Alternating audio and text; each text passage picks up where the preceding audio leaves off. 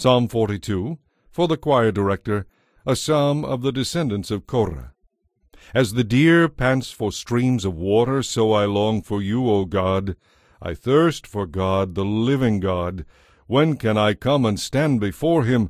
Day and night I have only tears for food, while my enemies continually taunt me, saying, Where is this God of yours?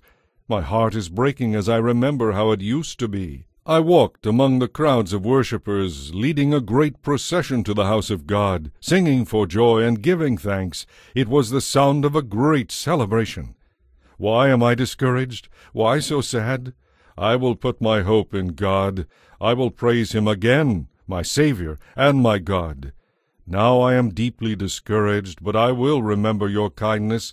From Mount Hermon, the source of the Jordan, from the land of Mount Mizar, I hear the tumult of the raging seas as your waves and surging tides sweep over me.